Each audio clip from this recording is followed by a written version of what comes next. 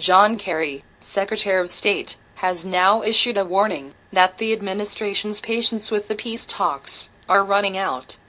John Kerry was quoted on Friday as saying Washington was appraising the thought whether to continue its role in Middle East peace talks, showing signs his patience with the Israelis and Palestinians was running out. While visiting Morocco, after a week of continued failures, Kerry said there was a limit to the efforts he would make if the Palestinians and Israelis were unwilling to move forward. This is not an open-ended effort, it never has been. It is reality check time, and we intend to evaluate precisely what the next steps will be, Kerry said, adding he would return to Washington on Friday to consult with President Obama.